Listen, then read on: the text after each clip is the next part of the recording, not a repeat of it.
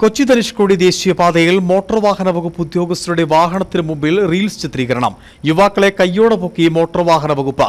കൊച്ചി ധനുഷ്കോടി ദേശീയപാതയിൽ ഗ്യാപ് റോഡിൽ സാഹസികയാത്ര വ്യാപകമായതിനെ തുടർന്ന് മോട്ടോർ വാഹന വകുപ്പ് നടത്തിയ പരിശോധനയ്ക്കിടെയാണ് സംഭവം.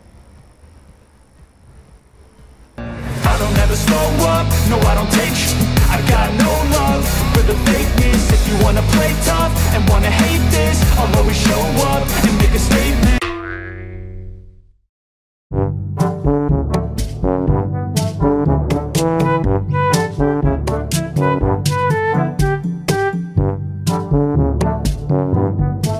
തമിഴ്നാട്ടിൽ നിന്നും എത്തിയ യുവാക്കളാണ് മോട്ടോർ വാഹന വകുപ്പിന്റെ വാഹനമാണെന്ന് മനസ്സിലാക്കാതെ ചിത്രീകരണം നടത്തിയത്.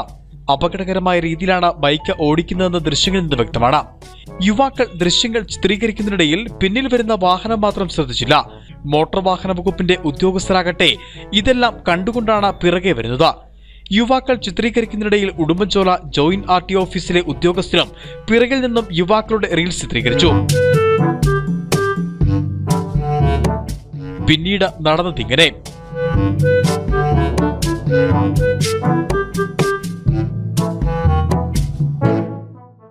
എന്താണെങ്കിലും വാഹനം കേസെടുത്ത കോടതിയിൽ സമർപ്പിച്ചു.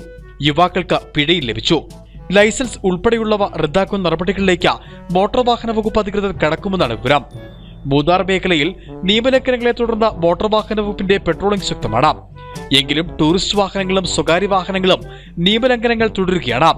ഇത്തരക്കാർക്കെതിരെ ശക്തമായ നടപടി നടപടിയെടുക്കുമെന്ന് Idukki enforcement R T O Rajeev K K പറഞ്ഞു. ഇതിനായി മൂന്നാർ ഗ്യാപ് റോഡ് കേന്ദ്രീകരിച്ച എൻഫോഴ്സ്മെന്റ് സ്ക്വാഡിനെ നിയോഗിച്ചിട്ടുണ്ടെന്നും ആർ ടി ഒ അറിയിച്ചു. Idukki vision news ഉടുമ്പച്ചോല